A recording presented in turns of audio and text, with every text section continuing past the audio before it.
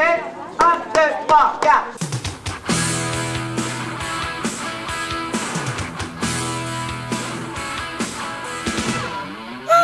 Unis, unis, nous allons par unis.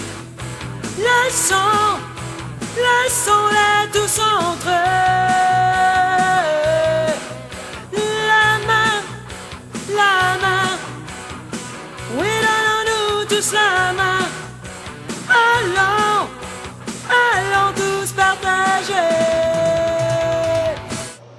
Fais de la danse depuis l'âge de 13 ans.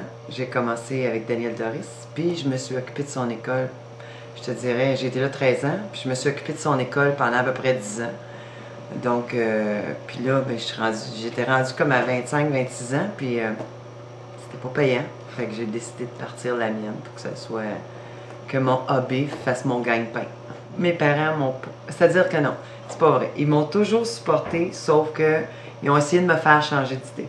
Sauf que quand j'ai parti l'école, c'est ceux qui ont été là pour m'encourager. Puis même qu'ils ont réglé certains besoins. Mais je te dirais que c'était pas. euh, leur idée principale, c'était pas ça. Tu vois, moi, mon école, c'est pas mon gagne-pain, c'est mon loisir. C'est un loisir. Parce que si j'avais juste l'école, je pourrais pas vivre. Euh, j'ai une maison, j'ai un enfant, je suis monoparentale, donc euh, c'est sûr que j'arriverai pas avec l'école. L'école, c'est pas. On, on gagne pas 200 000 avec ça.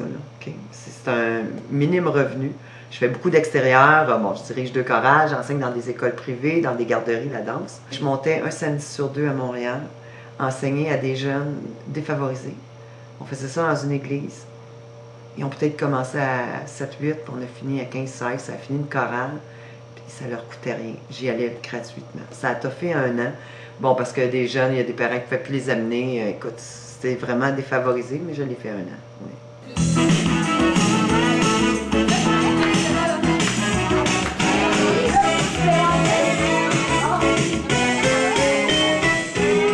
Premièrement, ça me garde jeune. puis euh, deuxièmement, c'est juste de faire découvrir aux jeunes, puis aux moins jeunes, ce- ce que la musique peut apporter dans la vie. Euh, moi, je trouve que c'est la...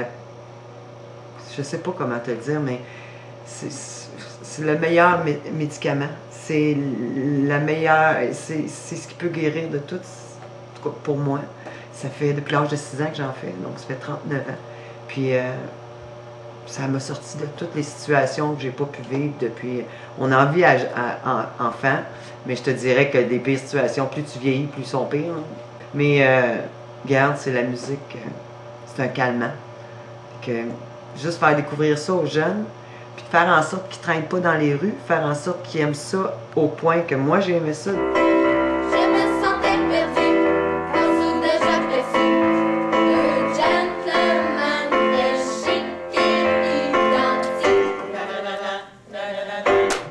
Divorce, je pense que c'est pas facile pour personne.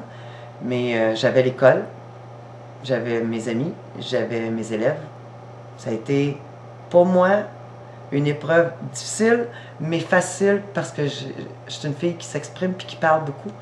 Euh, je bois pas, je fume pas de drogue, fait que, je parle. Puis ça a été mon moyen de, de m'en sortir. Puis j'ai dis merci à tous ceux qui m'ont écouté parce que c'est comme ça que je m'en suis sortie. Quand je regarde ce tremble que l'hiver n'a pas épargné, je me dis que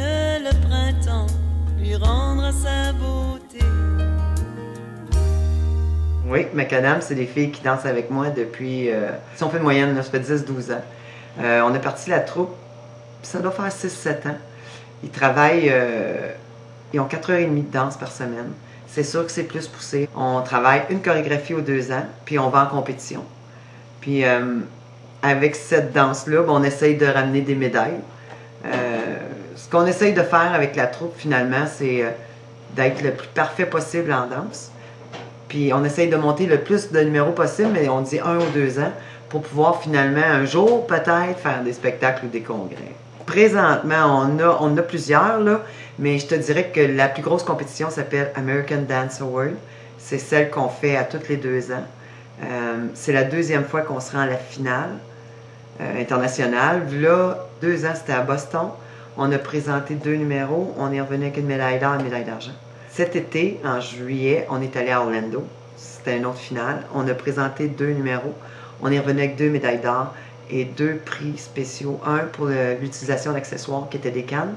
L'autre, c'était l'entrée d'accessoires sans musique qui était vraiment rythmée. Euh, écoute, on part 12 jours, euh, on compétitionne deux jours, on, on suit des cours deux jours, puis Orlando, ben, on s'est rendu à Walt Disney. Hein? Mes filles, écoute, je les ai juste pas accouchées, je pense. Puis euh, c'est à peu près tout. Ils ont des problèmes, euh, ils savent que je suis là.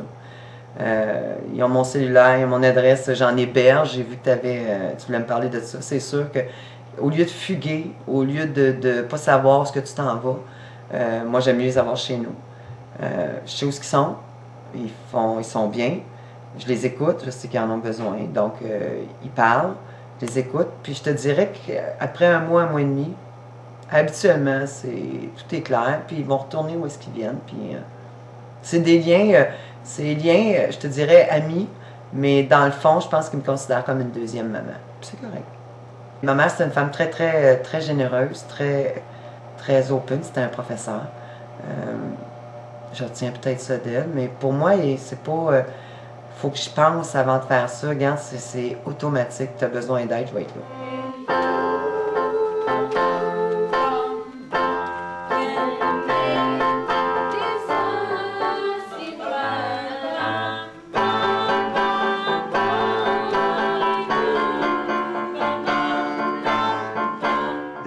Enfant-là a 15 ans. Euh, ça fait 7 ans que je l'ai. La première fois que je l'ai vu, moi, on m'a- juste dit qu'il était aveugle. Donc, enseigner le piano à un aveugle, c'était ma première expérience. Euh, mais je sais qu'un enfant aveugle a une oreille absolue. Fait que c'était un défi pour moi de découvrir si je pouvais y arriver. Euh, sauf que en découvrant cet enfant-là, ben, il n'est pas juste aveugle, il est, retardé mentalement. Il a commencé à marcher, ça fait un an. Pour jouer du piano, c'est comme pas évident. Donc, ce qu'on fait, nous, c'est plus travailler son oreille. C'est mon rayon de soleil. De l'entendre rire euh, parce que je dis maudit. Euh, de, le voir sourire parce qu'il arrive à son cours de piano. Puis qu'il est tout content parce qu'il a une activité comme tout le monde, même s'il n'est pas comme tout le monde. Puis moi, je le vois vraiment comme un enfant de 3 ans. Il n'est pas retardé, c'est un enfant de 3 ans. Écoute, c'est mon rayon de soleil. Au fond de moi, je frissonnais. C'est ton amour qui me répondait. C'était écrit, c'est pour la vie. Ouais. C'est très difficile de concorder familial et travail, surtout quand tu es monoparental. Quand tu es travailleur autonome, faut pas que tu comptes tes heures. Mais il y a, il y a toujours moyen de s'organiser. Bon, mon garçon a 13 ans, il va au secondaire. C'est sûr, quand il arrive le soir, je suis pas là. Le temps que tu donnes, il faut que ce soit de la qualité. C'est pas la quantité, c'est la qualité qui compte.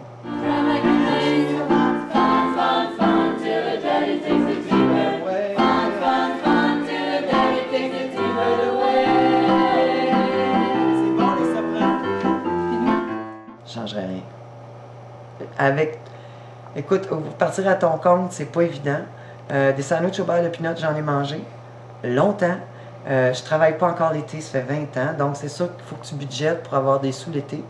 Euh, c'est pas évident non plus. Dans le temps que j'avais juste l'école, regarde, c'était encore pire. J'ai des contrats extérieurs. Mais je, je changerais rien. Est- non. Ma vie, euh, ma vie, c'est- pas un jeu, c'est simple. Euh, il y, a, toujours des problèmes dans une vie, mais il y a toujours des solutions. Puis c'est juste le temps de trouver euh, pourquoi ça t'arrive.